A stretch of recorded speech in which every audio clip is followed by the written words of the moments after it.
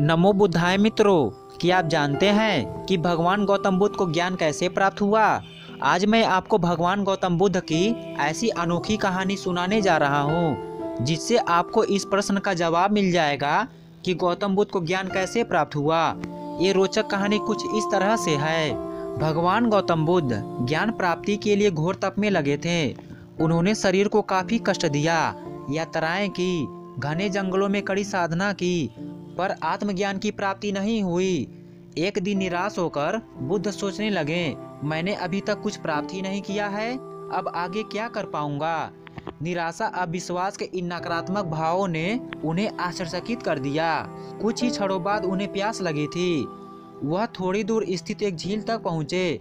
वहाँ उन्होंने एक दृश्य देखा कि एक नन्ही से गिलहरी के दो बच्चे झील में डूब गए थे। पहले तो वह गिलहरी आराम से बैठी हुई थी। फिर कुछ देर बाद उठकर झील के पास गई। अपना सारा शरीर झील के पानी में भिगोया और फिर बाहर आकर पानी झारने लगी। ऐसा वह बार बार करने लगी।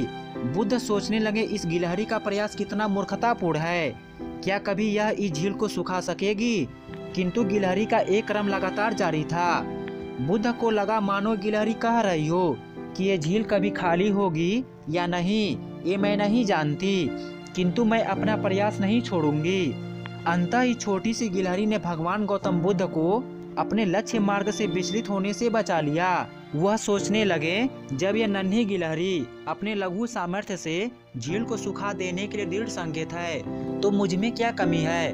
मैं तो इससे हज़ार गुना क्षमता रखता हूँ। यह सोचकर गौतम बुद्ध पुनः अपने साधना में लग गए और एक दिन बौद्धि वृक्ष तले उन्हें ज्ञान का आलोक प्राप्त हुआ।